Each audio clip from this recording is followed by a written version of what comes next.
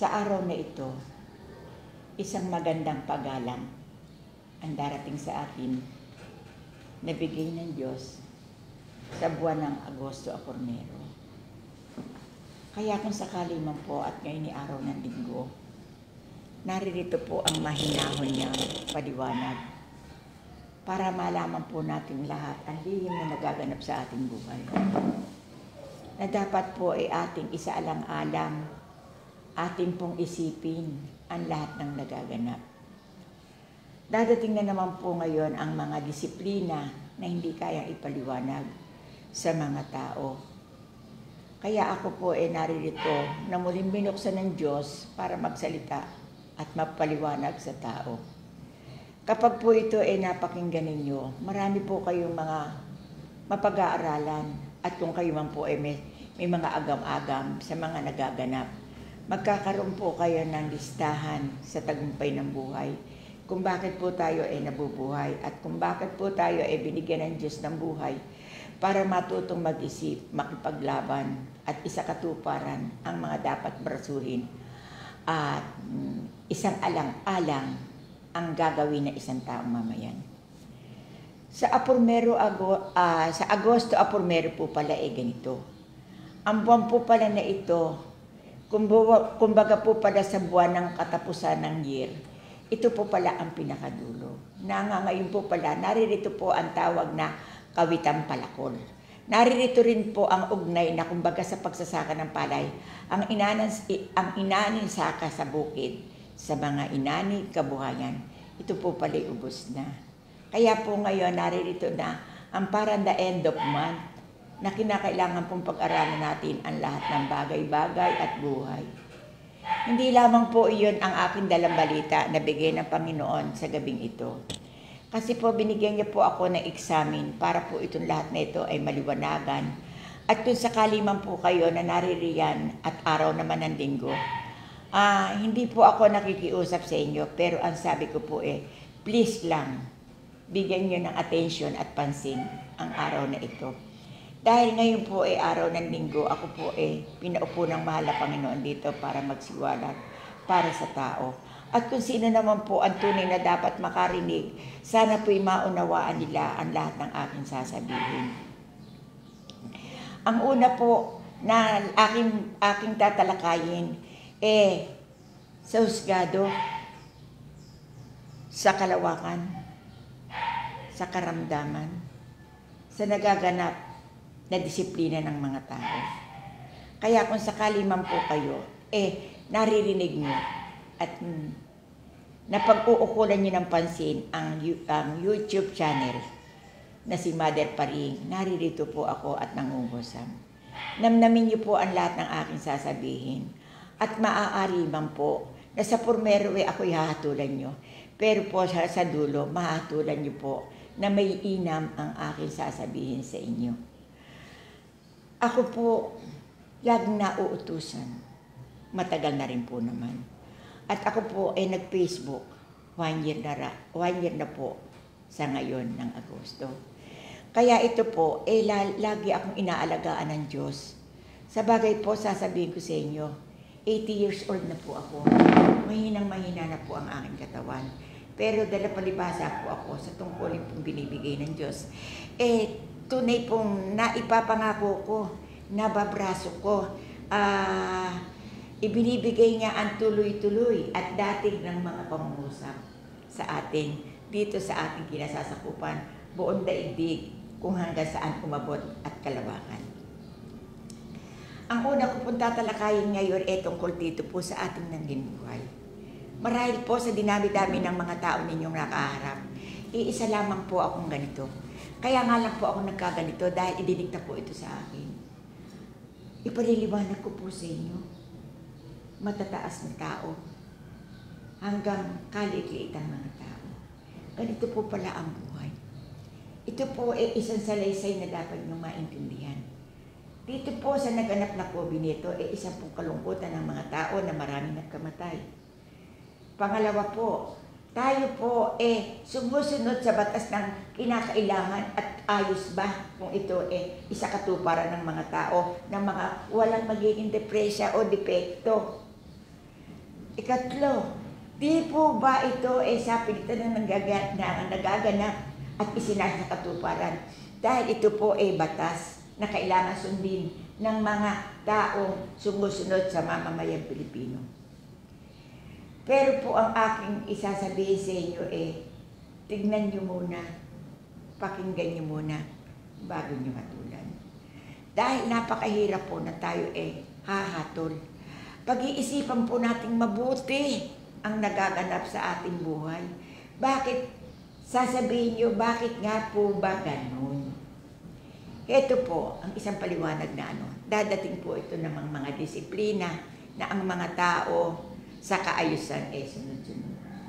Pero po ang nagaganap po ngayon, gaya po ngayon, heto na naman po, ang pag-uumpisa, ang kung saan saang lugar by lugar na nagaganap ang mga bagay.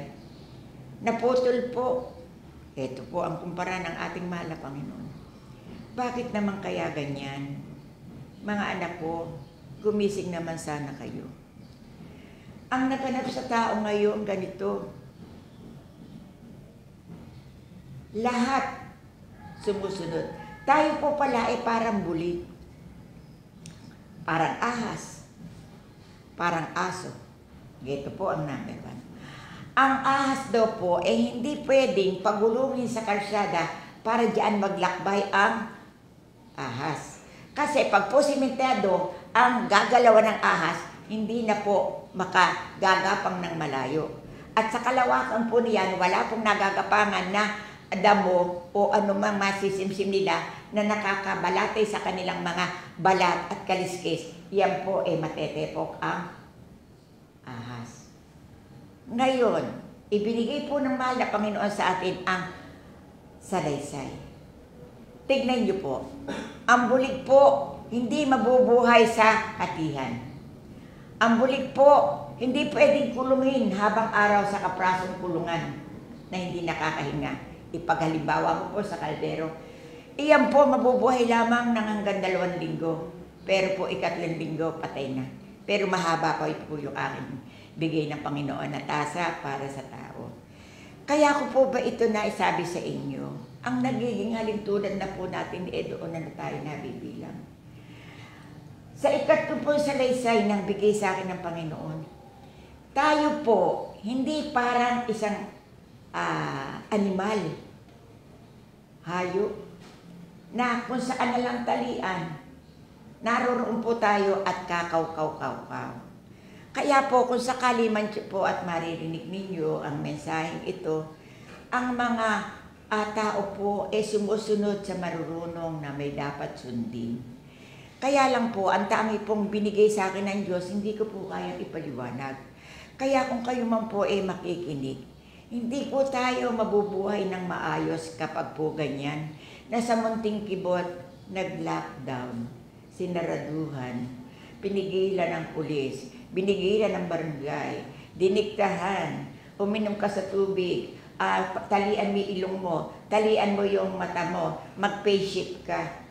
Hindi po masama yun kung kinakailangan. Sobra na rin po naman ang agwa ng tagal. Kasi po, kung pag-aaralan po natin to sa bigay sa akin ng Diyos, ito nakaraan pong COVID, ito po eh, tawag po diyan, tawag ng pagbabawas ng tao. Dahil kundi po tawag ng pagbabawas ng tao, nakatayo, titiwangwang, hindi po kapanipaniwala. Ang naganap po doon, nagbawas nga ng tao ang ating mundo.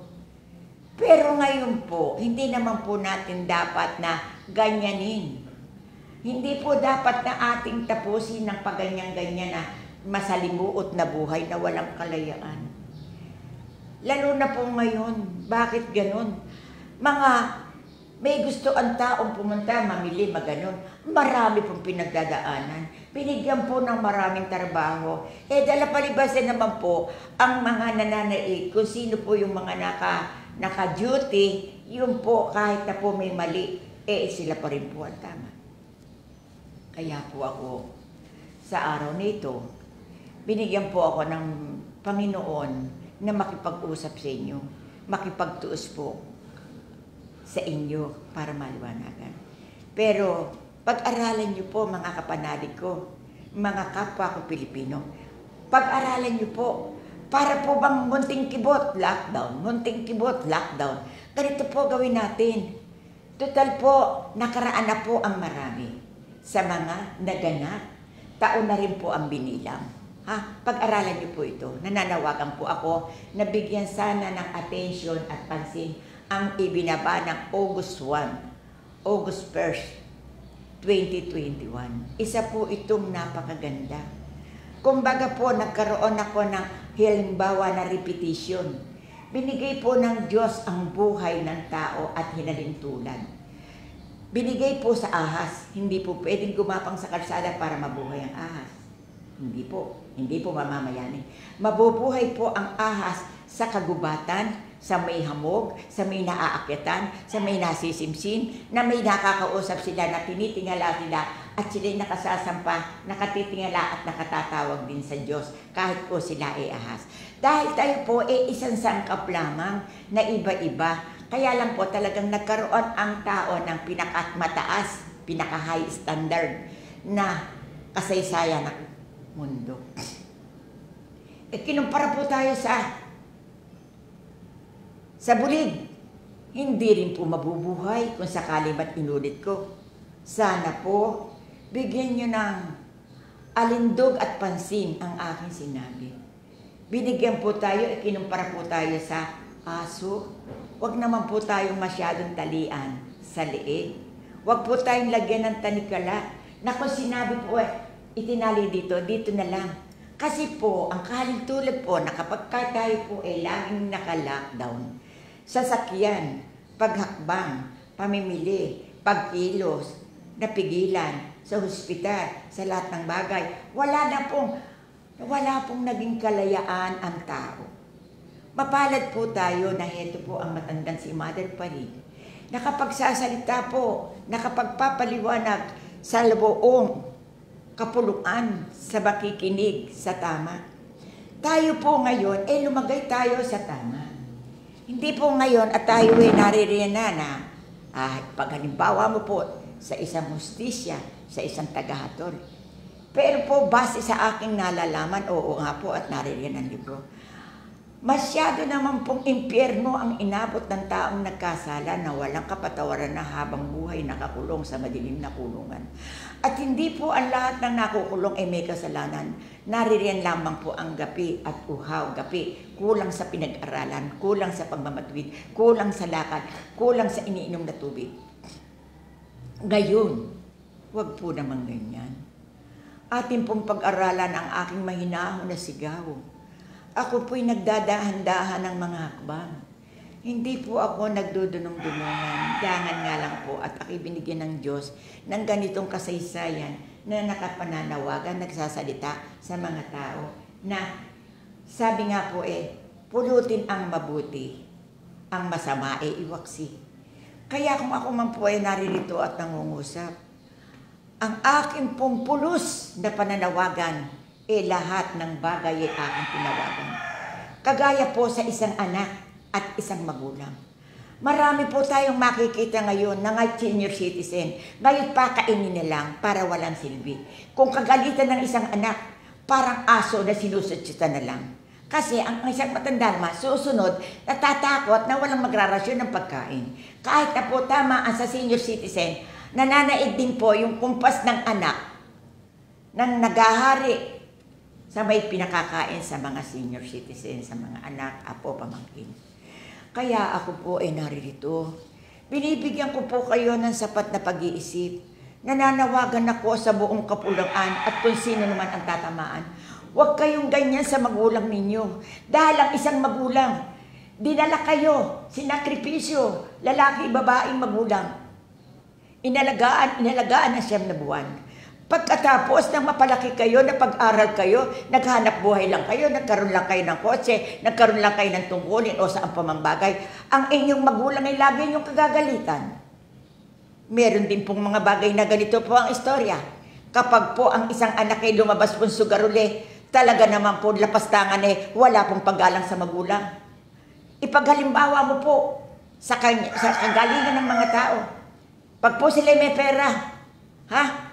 Lakwatsa dito, painom dito, ah, pagkukuboy lahat ng bagay.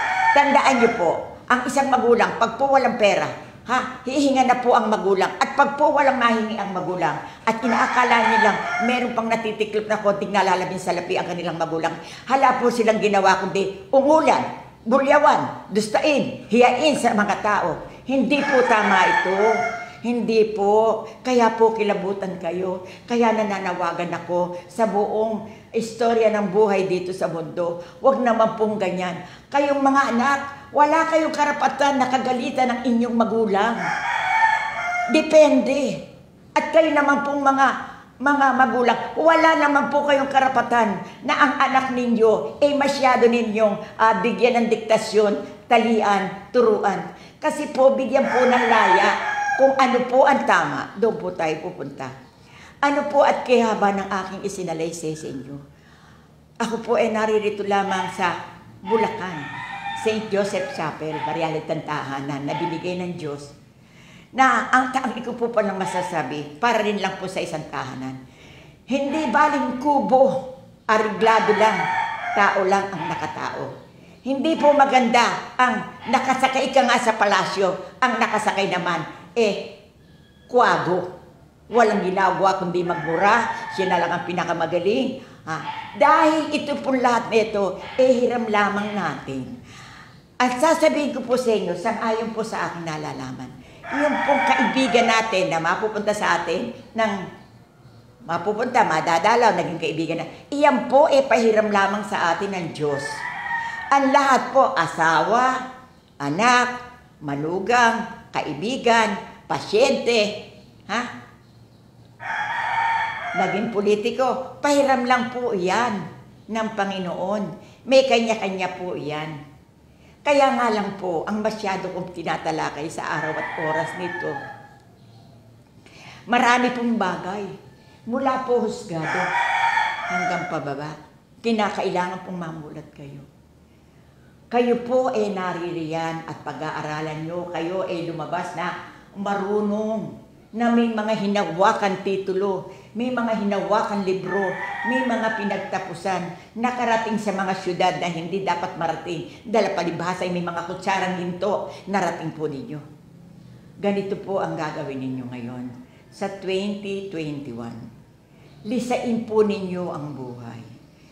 Kasi tayo po lahat ay papanaw. Hindi po ba ang tao, may namatay ng bata, may namatay ng matanda, may namatay ng sobrang nakaedara na hindi mamamatay-matay. Kapag po ang isang bata ay namatay, huwag po kayo malulungkot. Itanong niyo po sa akin kung bakit. Yang ganyan po na hindi hindi humaba ang buhay. Ang ibig sabihin po niya, hindi niya kaya ang kanyang tatahakin, papasanin na buhay sa mundo. Kaya po siya pumanaw. Ipagalimbawa niyo naman po, nasa loob ng tiyan ng, ng isang ina. Bakit po nahulog? Ganito po yan, nabilig, nakunan, dinugo. Hindi rin po ibinigay ng Diyos ang magandang pagkakataon para siya eh makasimsim ng liwanag ng mundo.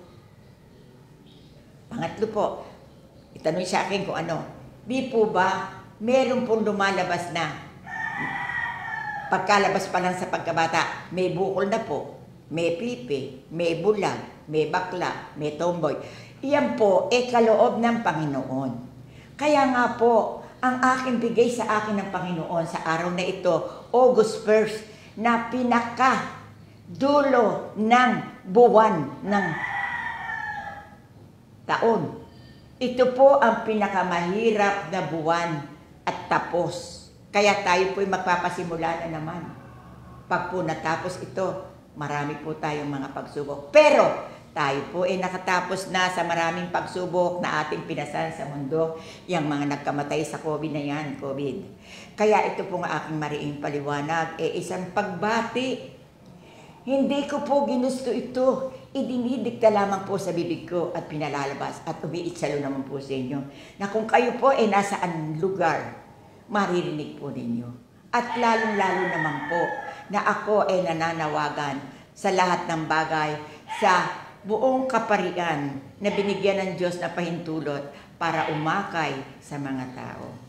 Ito po lahat na ito ay kinasangkapan ng Panginoon. At kung sakali man po na ako ay may kaprasong palad, na ako po ay nagbibigay ng mulat, bago niyo po sana ako hatulan, ha? pag-aralan po muna ninyo. Huwag muna po kayo magbibigay ng salita tungkol po sa akin. Kasi po, ito po lahat na ito, eh, wala po akong kaalaman. Ito po, araw-araw, idinidikta po niya sa akin. Kumpas lamang po ng kamay ko, dito ko po kinukuha ang ibinibigay ng Diyos na obligasyon, mamahaba man o maiksi sa lahat ng bagay. Kaya lang po, kinakailangan na mayroon pong isang katulad ko na dukha na walang pinag-aralan, na inutusan ng Diyos, na ibinangon ha, para tumulong sa tao. Sumakoro, magbigay ng paliwanag.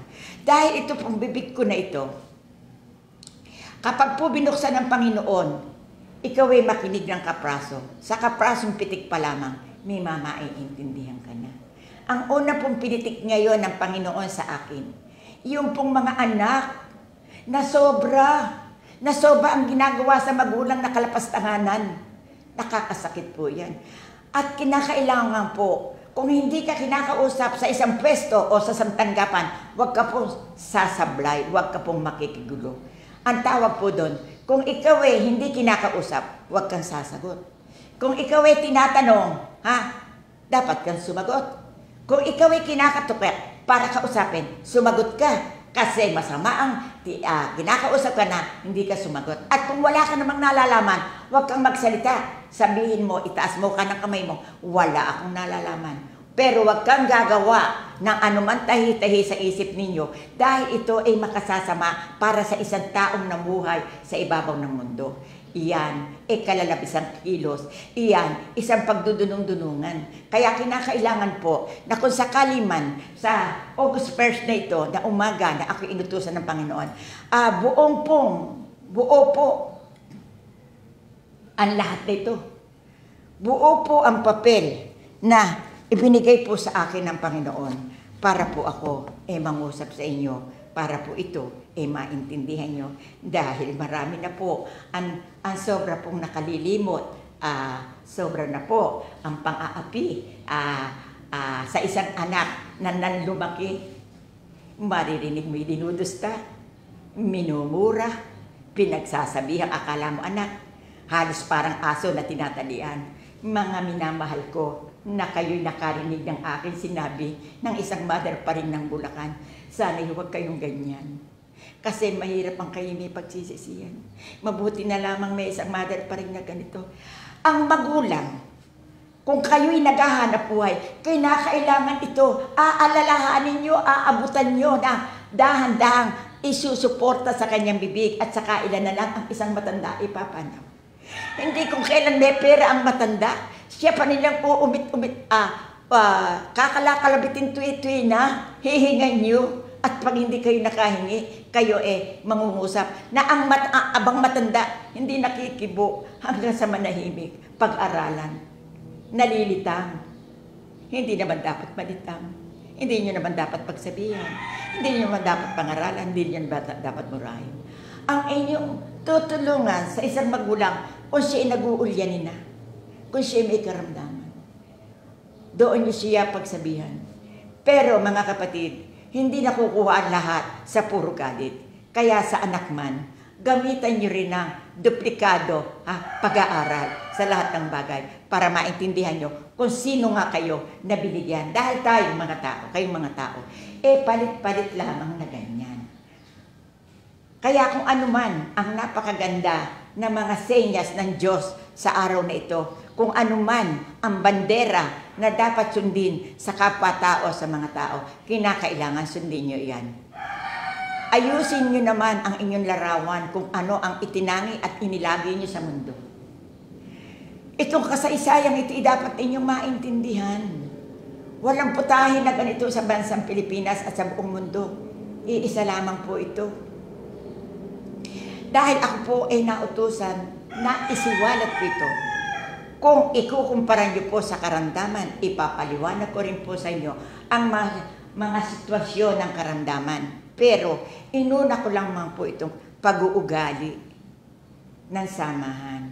At ganun din naman po, ipaghalimbawa mo, isa kang manugang. Na isa kang pumasok sa pamilya na pamilya na ikaw ay sinuwerte. Sana po, kung saan lamang kayo karapat dapat tumuntong, doon lang kayo. At ganun din naman sa pagpapamana, marami nakikita ako na ito ang kalikasan nangyayari. Kung sino ang sumaltalang, siya ang nagahari. Hindi tama yan. Kinakailangan na kayo, kahit mahirap ang tao, pag-aralan nyo na ang kunin nyo lamang ay inyong inyo. Pero para magsulsol, mag-arunsol, na hanggang sa kaliit-liitan, pagpapapilan, eh samantalang kayo eh lipaw lang doon sa isang lugar, na kayo na ang nagari-harian, na kayo na ang umpo, na kayo ang bida. Mga kapanali, makakababaro ko, babae o lalaki, tinatawagan ko kayo, huwag kayong ganyan. Kasi sa kadahilanan, iyan ay may batas ang Diyos. Kaya nga naririto ako sa inyong harapan Habulin nyo ang hiram na buhay. Marami pa kayong pag-aaralan. Hindi basta lagi lang kayo nak naka-forma na sunod nyo ang lahat. Hindi po tama yan. Lalo po kung ang lahat ng gagawin nyo, eh pinang-agawan nyo lang sa kapwa-tao. Pinang-agawan nyo lang na hindi karapat-dapat sa inyo. Na sa, sa lahat ng bagay, kinakailangan po na ito, eh linisin nyo, litisin nyo, i-double check nyo, ano ba ito? Ang buhay po natin ay parang isang tahanan.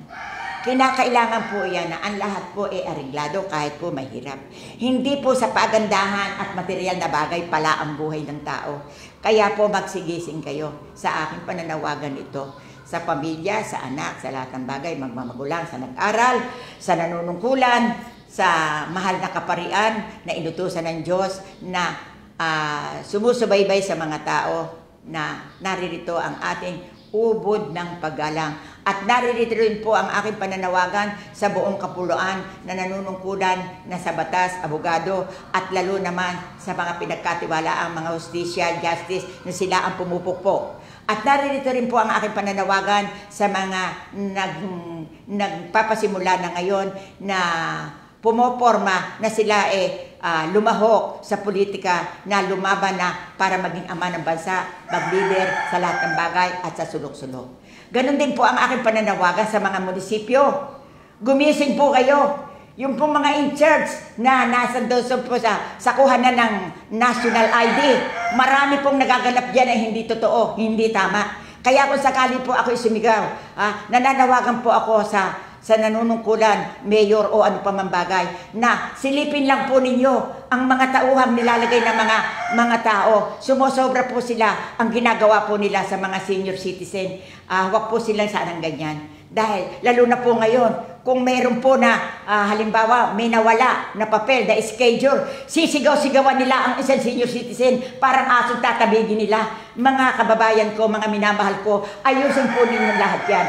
Lalo naman po yung mga mga gumaganap po na nagbibigay po ng senyas dito sa uh, face mask at sa lahat ng bagay. Sana po matutong gumalang ang mga batang yan, mga lapastangan po. Kung po sila ay eh, marunong gumamit ng ballpen, uh, doon po nila pa naiiran na sila eh, sikat, sila ang mura, sila ang pag-asa ng bayan. Pero po, wag po aapin ang kapwa Pilipino. Dahil kung wala po itong mga senior citizen to, hindi po magiging ganyan. Kaya po, malaki ang kaayusan. Kaya po, ilagay po natin katunay na pagsilip Sumili po kayo dyan. Marami po kayo.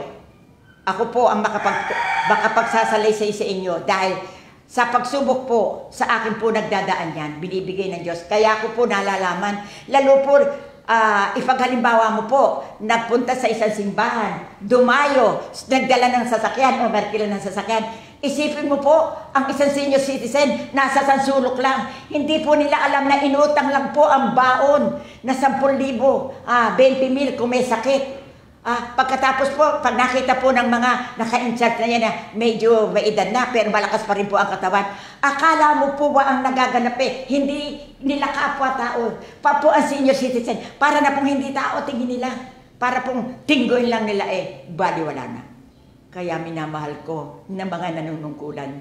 Ito po eh hindi balitang butsero, kundi po ito eh totoo. Gumising po kayo, tinig, tingnan po ninyo ang mga tauhang naririyan na sobrang namamalis ng tao. Akala mo po siya may hawak ng walis, lalo na sa po sa, sa senior citizen. Kaya ko po nasabi ito, Ah, kapag po ako tinanong nyo, nakita ko na po itong lahat na ito para po ang senior citizen wala nang silbi. Lalo po ngayon na ang senior citizen hindi po makalabas. Hanggang doon na lang. Kung halimbawa mo po ang bahay, isang kwarto lang, iikot-ikot lang. Ano pa mangyayari? Mamamagaan pa, walang hersisyo. Lalo kung gahol sa pagkain. Ito pong nagaganap na ito, ang akin pong masasabi, marami pong nagugutom. Kaya po maraming may sakit na tao sa ating bansa. Hindi po nasusuportahan, kulang po walang gatas, walang asukal, walang bigas, walang tubig. Dahil tubig lang po, eh, binibili na natin lahat po ng bagay. Pambayad sa uh, uupahang pesto, eh ngayon pinapakasikip, kapraso lang po. Mas swerte po yung iba na may kutsarang ginto sa lalamunan. Matapos po na isiniwalat ko, isa lamang po ito, sasamantalahin ko na ang isang magagandang pagkakataon na bigay ng Panginoon sa akin. Pagkatapos po nito, tatalakayin ko po ang lahat ng bagay Ha? At sana po, kung nagkakamali man ang tao, bibigyan naman po nyo ng pagkakataon sa pagbabago. Huwag naman po sana na isasagunso nyo na lang na kung nagkasala ganun, habang araw na lang na parang inihaw na bulig sa loob ng kulungan. Parang, parang inihaw na isaw na nagkadurug-durug na na doon na namatay. At ako po ay nananawagan. Sana po ang nasa loob ng kulungan, bigyan po ng atensyon. Init na init po sila Uh, marami po kasi dyan ang naririyan na kulong ng walang kasalanan. Kulang nga po at nagagaping pang kasalukuyan. Kaya po ang banderang ito la, sa lalawigan ng Bulacan, naririto si Mother Paring na nangungusap sa inyo, na dinggin nyo ang aking uh, utos ng Diyos pero pag kayo ay nakinig, meron kayong matututuhan, hindi nyo pagsasawaan. At lalo naman po akong tumatayo na hanggang abot ng aking kaya, naririto po ako hanggang ako'y nakakahakbang, hanggang ako'y nakakakita sa tao. Nilulubos ko po ang aking kakayanan. Kaya kung medyo man po mahaba ang mensahe ngayon ng August 1st, ito po ay isang pakikipagtuos na utos sa akin para sa tao. Na dapat po ito ay disain. Lahatin Kinakailangan po maintindihan ninyo ang lahat na nagaganap. Kasi po walang nakapagsusumbong. Kasi po, ang right na lang po, naroroon na lang po na sila po ang hari kahit saan. Lalo-lalo na po ang pakikiisa ng mga leader, ng uh, mother leader. Marami po dyan. Halos po puro favoritismo. Galing nila, hindi nila alam na ang lahat na yan ay hiram kaya po ang aking paliwanag niya, yan lahat na yan, hiram. Weather-weather lamang. Kaya akin pong isusunod dito, eh tungkol sa karamdaman. Dahil dito po ako binigyan ng mano-mano ng Panginoon ng pagtuturo. At ako po ay magpapaliwanag sa inyo sa umagang ito tungkol sa karamdaman. Ang akin pong naging obligasyon, maraming bagay sa karamdaman. Hindi ko na po uulitin isa-isa. At alam niyo na yan sa Facebook. Ngayon, ang aking pong bigay na paliwanag ng Panginoon ngayon, ang sitwasyon. Yung po pala na almuranas, ha? na may kumakalag doon, na sa bawat oras na pag may karamdamang almoranas, isa na pong pasa ng tao na problema. Kaya po unawain natin ang buong mga tao. Ang lahat po ng tao may karamdaman. Yun naman po sa pistula ang puwit po na yan ay namamaga na parang putakte na nagiging piksa na makirot na makirot. Kapag naman po binasihan ang lahat ng bagay sa buwa, yan po palang buwa. Kaya po nagkakabuwa ang isang tao. Kapag ikaw ay nanganak ng pito, anim, lima, sa kairi, may lumuwag. Kumbaga po sa salawat, eh ang, ang garter po, eh lumagpi. Ganon din po sa usos. Ganon din po sa giant usos. Sa giant usus naman po, yan tumatama po dyan, yung pong may mga karamdaman na prostate. Kasi po ang prostate, mula po sa waistline, hip, hip A, hip B, hip C, naroroon lang po ang bakterya. Base po sa aking nalalaman, hindi po iyan problema. Iyan po dahan-dahan lang bakterya na naipon sa loob na para bagang colon cancer na parang cake. Nadagdagan, nadagdagan, nadagdagan. Kumbaga po sa ngipin, iyan po eh, ngipin hindi sinusupilyo na naging tartar. Kaya po, tunay na ang akin pong napakaraming paliwanag sa inyo. Araw-araw po ito, ibinibigay po sa akin ng Panginoon ang lahat ng bagay para po masabi ko. Dahil ako naman po, aaminin ko sa inyo, hindi po, a grade 6 lang po ako. Natapos ko po 2 years special course garment trade sa Kapitolyo. Kaya kung kayo man po ay naririyan at medyo po kayo eh tinatamaan, ah, ang tangi ko pong masasabi, bigyan niyo po ng liwanag na plansadong desisyon. Kapag po ang aking mga sinabing ito, eh tunay namang inyong papakinggan, eh kayo po ay eh, magkakaroon ng maraming aral, maraming mulat sa mata na ah, may matututuhan po kayo uh, yan pong mata ninyo, lagi pong yung babasahin. Lalo po nananawagan po ako sa mga new generation. Hoy, yung sobra naman titig sa cellphone, wag naman. Kasi nauubos yung pinaka-battery battery ng lente. Nauubos yan, nauupod yan, uh, napupulpol. Para rin kung wala nang karga, eh na, na ano, na short ang kuryente. Kaya nga po, Uh, ipaghalimbawa mo kung sa tahanan, pag sobra na po ang karga, hindi po ba may nalalagot, ha? may nasushort. Kaya po, ang ating utak, eh dagdagan po natin sa lahat ng bagay. Lalo naman po yung abdo, sakit sa bato sa abdo. Iyan po nararamdaman na may bato na nasa loob. Iyan po ay problemang napakalaki. Pero po sa kabila ng lahat, kapag po kayo eh merong uh, binigyan ng pansin as the origin na aking panggagamot na marami po kayong matututuhan. Hindi po ako nagmamainam dahil ako po eh sa kailan at bubuwal na rin at ako po eh mananahimik na rin sa kabilang buhay. Tanay po na ako po na po pag ako'y dinadaingan dito na maraming humihingi ng tulong. Hala po akong maibigay. Kaya po, kung baka minsan po yung aking konting bigay-bigay ng tao, eh naipapamigay ko pa. Ah, ang isa po palang ganito na isang nautusan ng Diyos, hindi po pala nakakaipon ng pera yan. Yun lang po parang ibon na makatuka. Uh, ngayon eh, nakatuka, bukas ay hahanap uli at bibigyan uli ng Panginoon ng tuka bukas. Kaya po, ang lahat ng aking nananawagan lang po ako.